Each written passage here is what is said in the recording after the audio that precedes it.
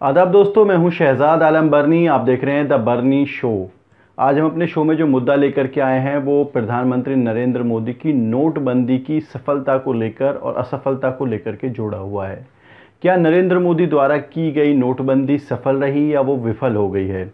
दरअसल 8 नवंबर 2016 को प्रधानमंत्री नरेंद्र मोदी ने अचानक देश को चौंका दिया था, जब उन्होंने कहा था कि आज से इसी वक्त से 500 और 1000 के नोट लीगल टेंडर नहीं रहेंगे।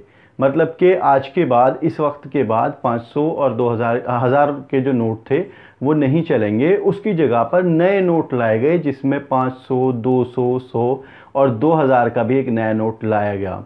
दरअसल रिज़र्व बैंक ने अपनी एक रिपोर्ट पेश की है जिसमें कहा गया है कि नोटबंदी के दौरान जो नोट वापस आए जिन नोटों को बंद किया गया था, वो जो वापस आए, जिनको कहा जाता है स्पेसिफिक बैंक नोट्स जो वापस आए, उसमें जो है 99.3 परसेंट नोट जो है, वो वापस आ गए हैं।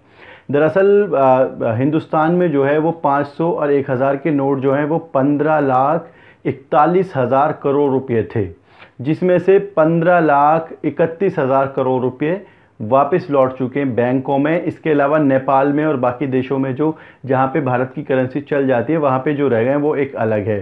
आ, तो कुल मिलाकर के सिर्फ़ दस हज़ार करोड़ ऐसे हैं जो वापस नहीं लौटे हैं।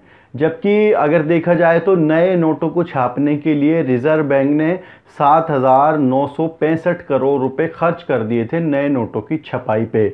Zero point seven percent note ऐसे हैं जो वापस नहीं लौटे हैं, बाकी बाकी सारे नोट लौट आए हैं। जबकि नरेंद्र मोदी ने अपनी स्पीच में कहा था 13 नवंबर 2016 को, जब उन्होंने नोटबंदी की थी, उसके पाँच दिन बाद कहा था, बहुत ही भावुक अंदाज में कहा था कि मेरे देशवासियों, मुझे सिर्फ़ 50 दिन दे दो और अगर 50 दिन में इसका रिज़ल्ट सही ना निकल के आए तो भरे चौराहे पे जो भी देश मुझे सज़ा देना चाहे, मैं वो सज़ा भुगतने को तैयार हूँ। नोटबंदी की जब एक साल पूरी हुई तो राज्यसभा में पूर्व प्रधानमंत्री मनमोहन सिंह, डॉक्टर मनमोहन सिंह ने कहा था कि ये एक ऑर्गेनाइज्ड लूट थी और लीगलाइज्ड डाका था जो देश की जनता के साथ किया गया।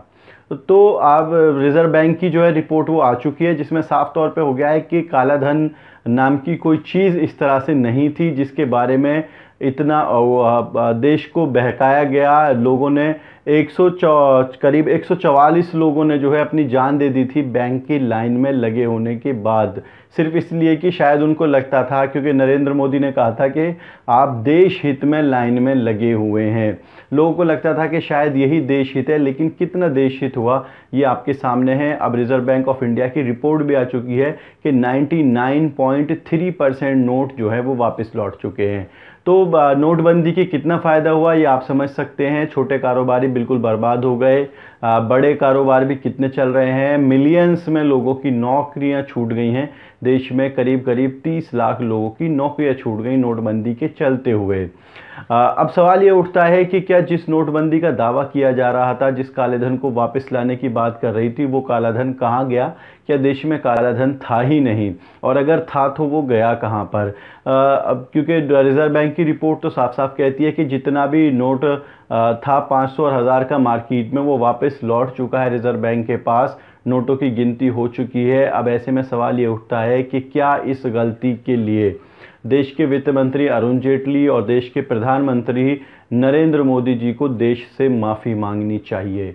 लाखों लोगों के कारोबार लुट गए, लाखों लोगों की नौकरियाँ चली गई। क्या उसके लिए एक माफ़ी भी नहीं बनती? आप इस पर अपनी राय ज़रूर दें कि क्या देश के वित्त मंत्री को और देश के प्रधानमंत्री को इस नोटबंदी के लिए देश की जनता से माफ़ी मांगनी चाहिए। आज के प्रोग्राम में इतना ही। आगे फिर मुलाकात होगी। आपसे दरख्वास्त है कि इस प्रोग्राम को शेयर ज़रूर करें और हमारे चैनल को सब्सक्राइब ज़रूर करें। बहुत बहुत शुक्रिया।